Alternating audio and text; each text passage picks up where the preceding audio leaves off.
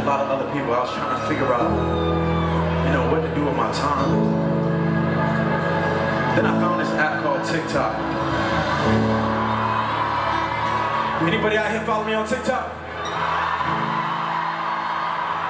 Well, thank you very much. So, I found this app and I started to collaborate, you know, with different creators from around the world, right? And it was a beautiful thing because it doesn't matter where you are in the world, you can be exposed to somebody else's TikTok. And I found a lot of people that I was a fan of. And this next song is a product of that. So usually I'll be like, Portugal, sing this next one with me, right? But for this next one, I'm gonna ask you to sing it with me.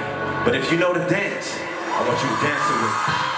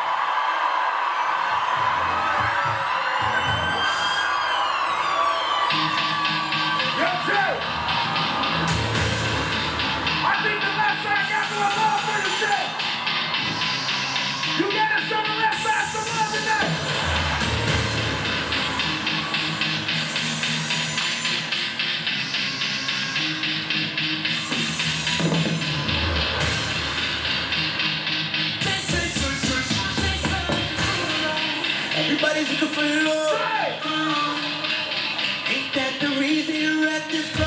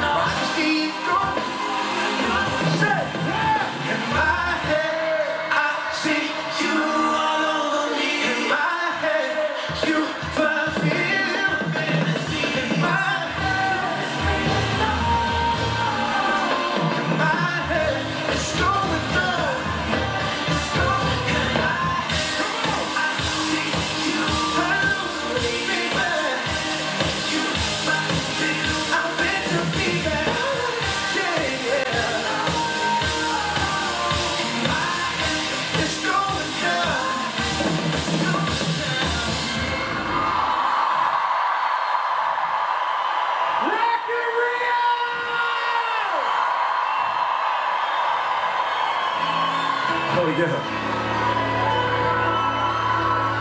this next song, I actually wrote in my mom's basement. And I wrote this song because I had a breakup. You know when you have a breakup, you try to find a song that kind of speaks to you, right? That kind of speaks to your situation. So I was trying to find a song that talked about me loving me. And I couldn't find the right song, so I decided to write this yourself before you can learn to love anybody else. If you love yourself tonight, put one finger.